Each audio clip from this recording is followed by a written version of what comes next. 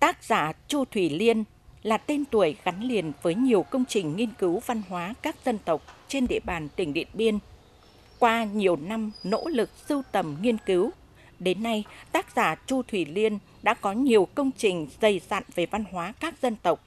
tiêu biểu như Sa Nhà Ca, Trường ca dân tộc Hà Nhì, Chuyện cổ Hà Nhì, lễ hội sen mường của người Thái đen xưa, vân vân. Riêng lời ca trong lễ cưới dân tộc Mông là công trình gồm hai phiên bản tiếng Việt và phiên âm tiếng Mông. Công trình nghiên cứu được Hội Văn nghệ Dân gian Việt Nam tài trợ xuất bản và được trao giải nhất chuyên ngành văn nghệ dân gian, giải thưởng văn học nghệ thuật tỉnh Điện Biên lần thứ tư, giai đoạn 2019-2024.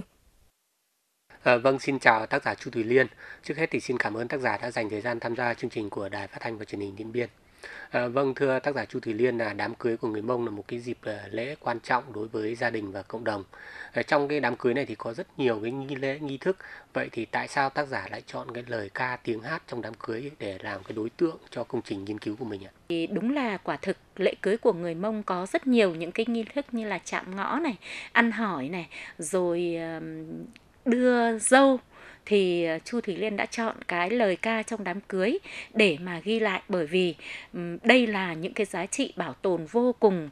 quý giá của đồng bào dân tộc Mông. Toàn bộ những lời ca, tiếng hát của đồng bào Mông đều được truyền từ đời này qua đời khác bằng truyền miệng và từ cái tâm thức rằng sợ đồng bào sẽ không còn ghi lại được những tác phẩm của mình nữa và trong tương lai thì không phải các cụ nghệ nhân còn sống mãi với chúng ta mà các cụ sẽ lên đường theo tổ tiên từ cái suy nghĩ từ cái chăn trở đó cho nên Chu Thủy Liên đã chọn cái lời ca ghi lại để làm gì để lưu giữ không phải cho hôm nay mà còn cho cả muôn đời sau ạ. À, vâng vậy thì tác giả có thể chia sẻ đôi điều về cái quá trình thực hiện cái công trình nghiên cứu này của mình được không ạ? Um, lời ca trong lễ cưới của người Mông được bắt đầu khi mà Chu Thủy Liên còn làm cán bộ đoàn năm 1996 khi đó Liên đang ở đoàn dân chính đảng tỉnh lần đầu tiên được đi xuống dưới um, cửa khẩu bản Na Ư ấy thì Liên rất là xúc động khi mà đồng bào ở đó lại mời mình đám cưới, mời cả đoàn tham dự đám cưới. Thế thì mình thấy cái lễ lễ tiết của cái đám cưới nó quá hay. Nhưng mà cái lời ca là mình không hiểu một cái gì cả. Thì cái nghi lễ nó xảy ra như thế và làm cho Liên tò mò. Ban đầu chỉ là sự tò mò thôi và sau đó đến năm 2010 thì chủ tịch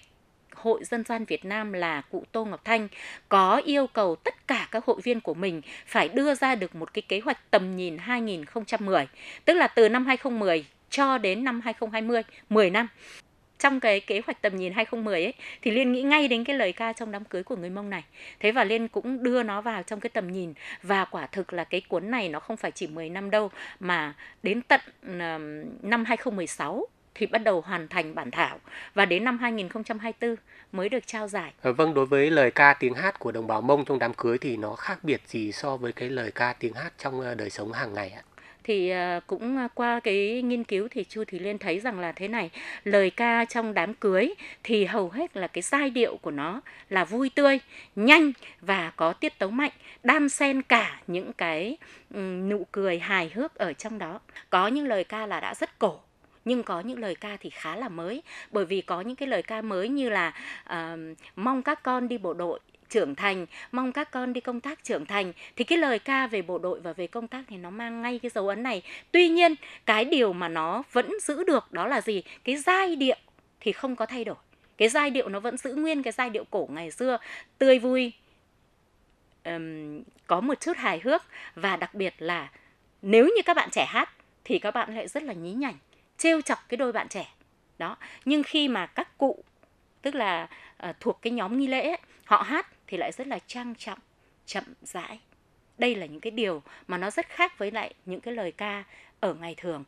của đồng bào mông ngay chính của đồng bào mông. À, vâng trong giai đoạn hiện nay thì chúng ta nói rất nhiều đến cái việc mà những cái nét đẹp văn hóa truyền thống của các dân tộc thì bị mai một dần theo thời gian. Vậy thì trách nhiệm của xã hội cũng như là của riêng các tác giả nghiên cứu trong việc gìn giữ và bảo tồn những cái nét văn hóa này thì, thì như thế nào? À, tác giả có thể chia sẻ đôi điều cái suy nghĩ của mình ạ. Thì như chúng ta đã biết rằng là văn hóa của các dân tộc đang dần dần mai một nhưng trước hết chúng ta phải nói là như thế này đảng và nhà nước đã có rất nhiều những cái chủ trương đường lối để mà ờ, đưa cái bảo tồn văn hóa các dân tộc. Thì riêng về ờ, văn hóa của đồng bào các dân tộc thiểu số đã có một cái chương trình, một cái đề án lớn đó là bảo tồn văn hóa các dân tộc thiểu số Việt Nam giai đoạn 2020-2025 tầm nhìn đến 2030 thì đây là một cái chương trình rất là lớn với tổng thể toàn bộ cái nền văn hóa của các dân tộc trên từng cấp độ, nào là diễn sướng, nào là bảo tồn, nào là kịch, nào là múa, vân vân, kể cả là kiến trúc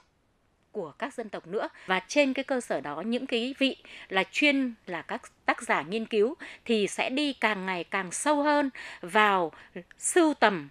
nghiên cứu, nhưng đồng thời sẽ nâng nó lên một tầm cao mới. Đó là gì? Trong giai đoạn tới này, chúng ta sẽ nghiên cứu về các biểu tượng trong các cái tác phẩm đã có. À, vâng xin cảm ơn uh, cuộc trò chuyện của tác giả chu thùy liên